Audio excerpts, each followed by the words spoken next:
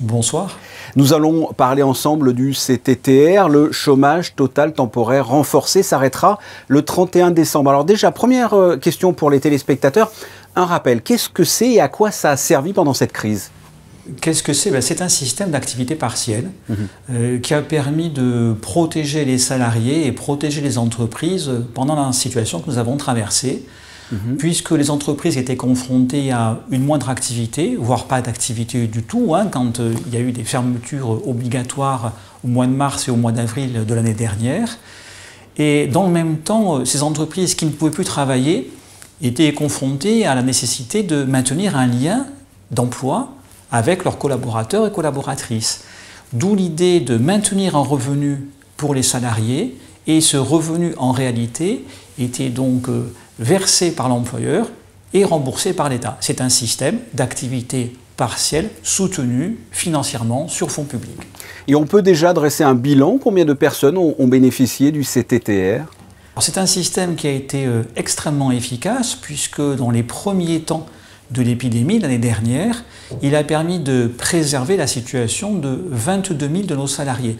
22 000 salariés, c'est considérable, c'est pratiquement 30% euh, des personnes euh, travaillant en principauté de Monaco. Et puis, euh, évidemment, l'activité revenant progressivement, accompagnée et encouragée par le gouvernement, le recours au CTTR a été progressivement diminué de sorte que l'été dernier, nous n'avions plus que 6-7 000 personnes encore dans ce système, et à l'heure actuelle, nous avons 700 euh, euh, salariés qui, euh, de façon très épisodique, peuvent être placés dans ce type de situation. Mmh.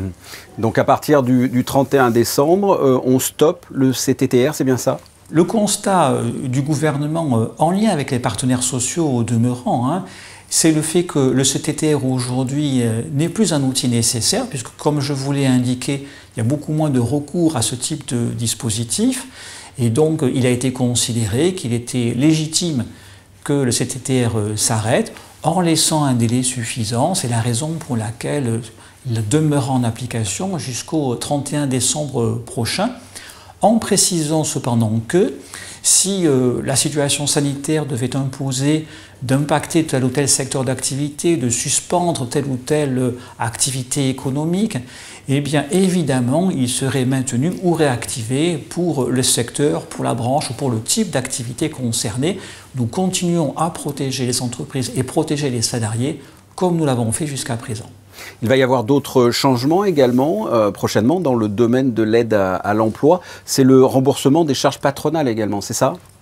L'idée, c'était de considérer que l'employeur doit acquitter des charges sociales, évidemment, euh, dans le cadre de la rétribution qu'il verse à ses salariés, et l'État, de son côté, a supporté euh, la moitié des charges considérées, euh, à la condition, avions-nous dit à l'époque, évidemment, que l'employeur s'engage à ne pas licencier son personnel. Donc c'était une sorte de contrat gagnant-gagnant. L'État paye une partie des charges sociales, l'employeur s'engage à ne pas licencier. Et c'est un système qui a très bien fonctionné et qui, de la même façon, comme le CTTR, va prendre fin au 31 décembre prochain.